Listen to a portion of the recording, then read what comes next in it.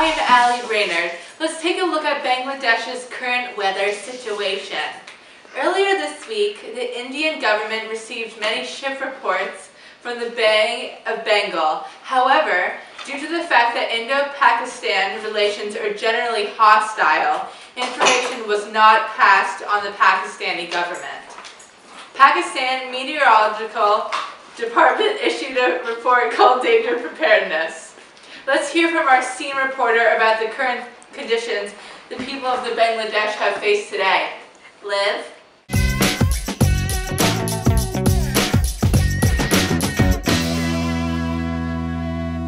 Good morning, people of Bangladesh. I am Olivia Arms. It is November 7th, 1970, and there seems to be some severe weather expected starting today. As you can see, the cyclone is starting to cause some heavy winds and precipitation. The Pakistan Meteorological Department issued a report calling for danger preparedness in the coastal regions on November 12th. However, only 1% of the population has been seeking shelter. Let's take a look into how the people of Bangladesh are preparing for a serious cyclone and its devastating effects.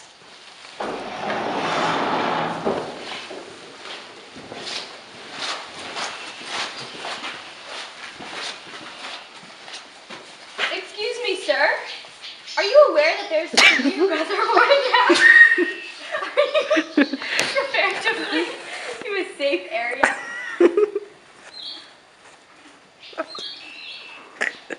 Well, there you have it. Let's hope this storm is as calm as everyone is seeking it out to be, because otherwise, the effects of a cyclone this serious may be devastating. This cyclone was the sixth cyclonic storm of the 1970 North Indian Ocean cyclone season, and also the season, season's strongest. It reached the strength equal to that of the Category 3 hurricane. Over $490 million of damage occurred. Approximately 85% of the homes in the area were destroyed or severely damaged, with the greatest destruction along the coast. The storm surge wiped out villages from the most severely affected area along the coast, losing over 45% of the population in the district of Tana alone.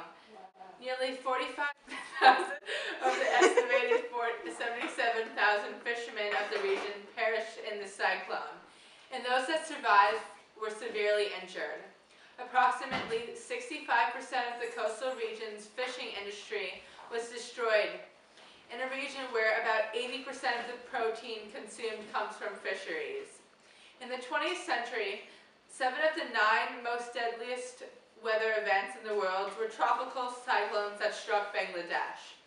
On April 30th, 1991, another severe cyclone packing winds of 145 to 160 miles per hour and another 6 meter storm surge hit Bangladesh, drowning 140,000 people. By this time, warning and the evacuation systems in the area had advanced to the point where several millions of people could be evacuated ahead of the storm. Otherwise, the death toll is predicted to have much greater significances. Back to you, Olivia, on the current situation. It looks like the cyclone is starting to become more severe. Here's the latest weather update. It could be a Category 3 hurricane. Their expected winds between 85 and 90 miles per hour. A 20-foot storm surge flooding low-lying islands of the Ganges Delta. The cyclone is an intense, rotating, low-pressure storm that developed over warm tropical oceans, producing strong winds and heavy rainfalls that results in immense flooding.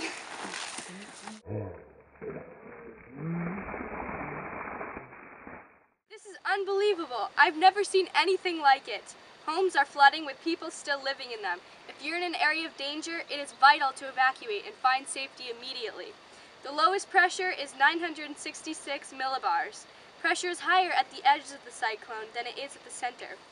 The water level just reached 33 feet with 8.66 inches of precipitation.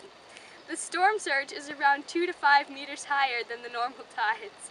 I'm being told that 90% of the population is aware of the cyclone, yet only 1% is seeking shelter.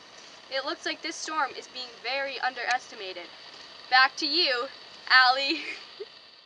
The day after the storm struck, three Pakistani gunboats and a hospital ship carrying medical personnel and supplies left Chittagong Islands of Hatiya, Sandwip, and Katudia. Teams of Pakistani armies reached many of the stricken areas in the two days following the landfall of the cyclone.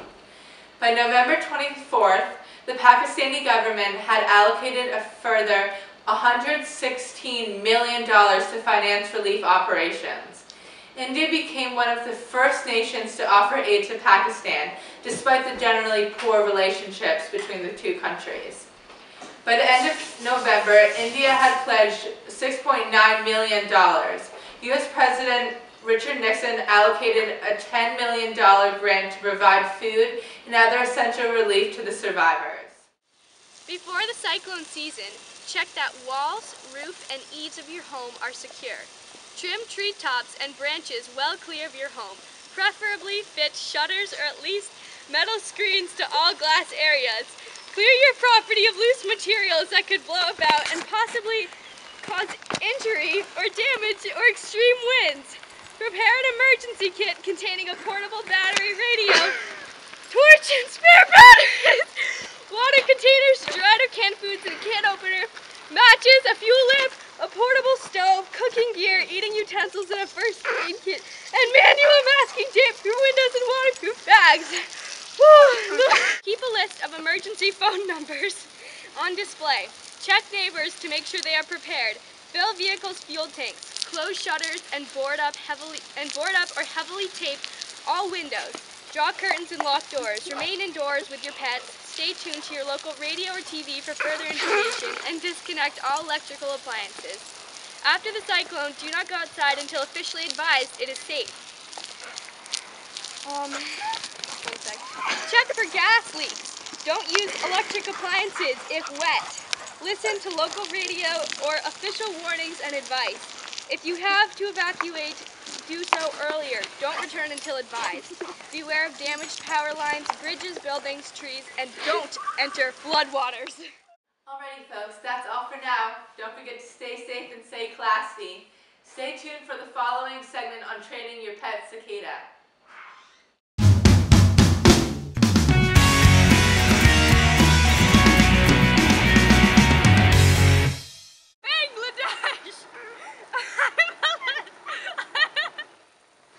966 M bar. Pressure is higher at the edge. is it M bar?